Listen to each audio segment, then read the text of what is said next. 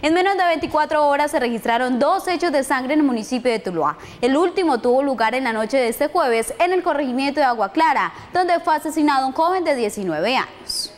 Según el reporte entregado por las autoridades a las 11 de la noche de este jueves, se escucharon varias detonaciones en el corregimiento de Agua Clara. La patrulla de turno verifica la información donde no encuentra nada y posteriormente, siendo las 2 de la mañana, la comunidad vuelve a reportar esa situación donde fallado el cuerpo sin vida de un hombre quien presenta varios impactos con arma de fuego.